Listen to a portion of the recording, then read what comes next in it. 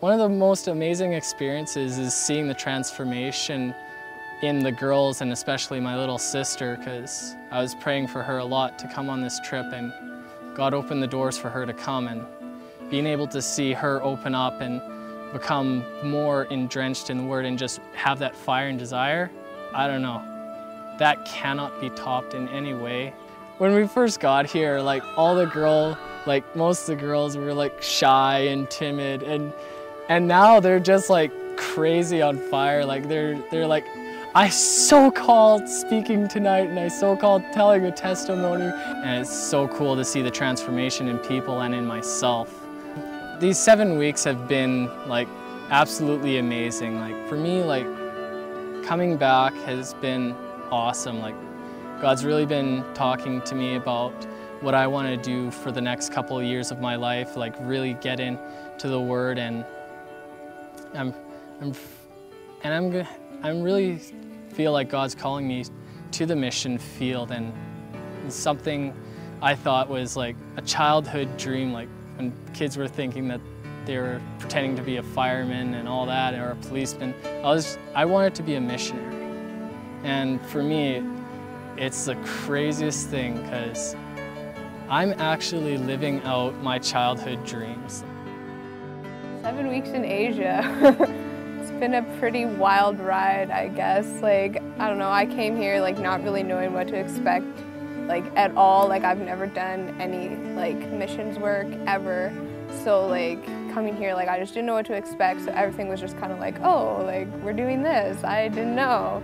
I guess he's taught me like a lot of things. One of them was just like getting me out of my comfort zone. Back in Canada, it was just so easy to like not really do anything, like just have my nice little way of doing things, like have my nice little routine and just this is how I like to do things and that's the way it is and I wasn't really being stretched or I, and I wasn't really growing at all but like coming here like I didn't have like any comforts like there wasn't really anything I could hide behind it was just like just me you know like all by myself.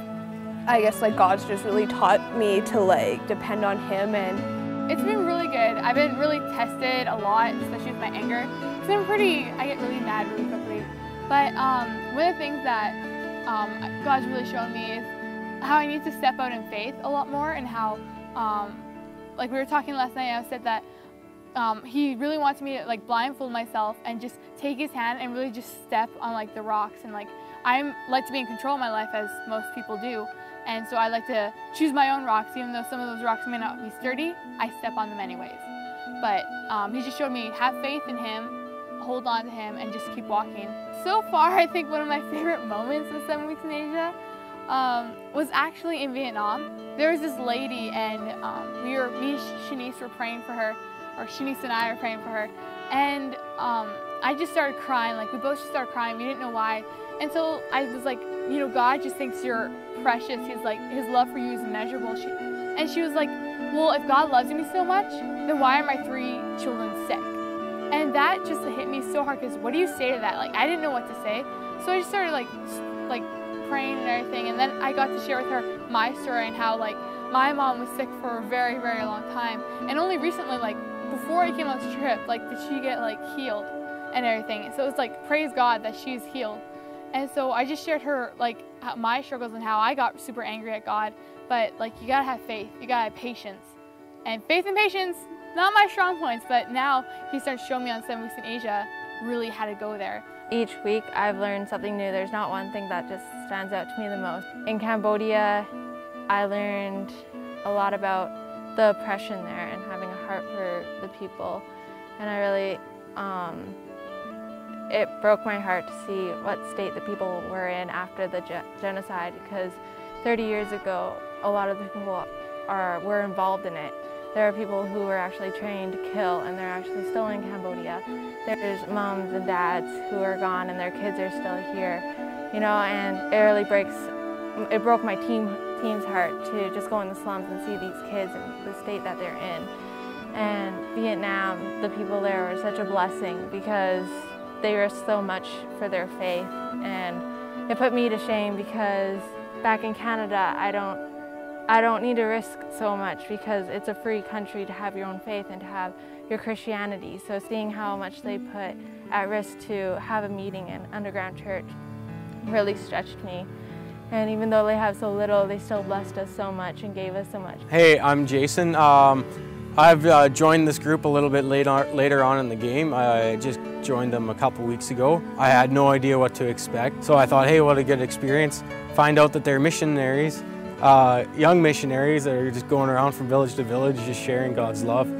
Uh, it's been quite a trip. God sh showed me so much, especially with things like uh, just His absolute beauty that He's created and the love that He has for people. I mean, you just look at uh, the young kids running around in the villages and uh, you just think to yourself that God created them. Uh, you just think to yourself that God created them. And He created them so special. He created each and every one of them. And there's millions of kids out there that don't know Christ and He created them. And it's so sad. I have to say I've really enjoyed this trip. It's been a ton of fun.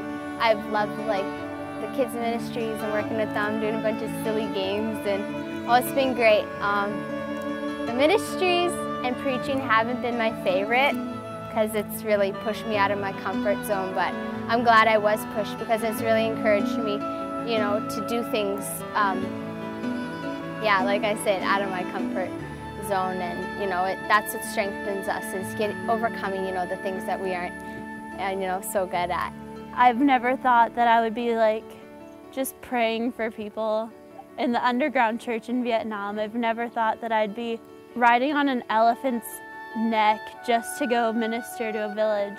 It's been really hard hiking up really steep hills. You're just hiking and you don't really know where you're going. But you know that it's totally worth it also in the end because if you minister to 100 people and one person understands and one person grasps what you're trying to say, it's 100% worth it.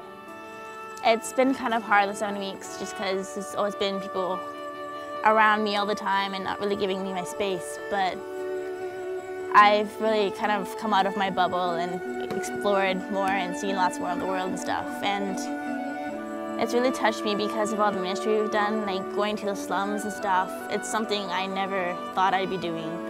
I never wanted to go to the slums in Cambodia or go to Vietnam. It's never really been calling to me, but when I went there, it completely changed my life and I would have never changed it for anything, you know. It's just stepping forward and just going out there has really encouraged me to do so much more in the future.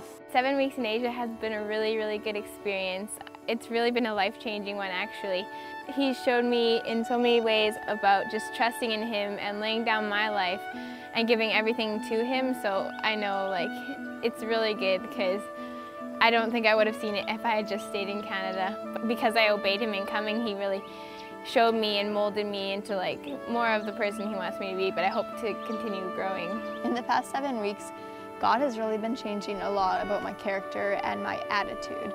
Like, I've always wanted to be a missionary and come over here to Thailand. But when I got here, I realized some of the stuff that I was expecting wasn't truly like missionary stuff, that makes sense. Um, like, just, they tell us to do little things and I'd be like, what? Is that really what a missionary does? Because I just, I wasn't expecting it. I never realized that was what we did. They did. We did. um, but eventually I could feel like my attitude towards stuff like that changing and like just my character and like what I expected to do and what I expected others to do. You have to come to Seven Weeks in Asia because it is going to completely change your life. Like me and my husband, we were trying to come back from our ministry that we just did and actually we eventually met the Seven Weeks team. I find it quite a little bit of like a challenge like being up here and been through like mud and like going up on elephant rides and everything and I think much of what God has done in me was like reaching out to all these people out there.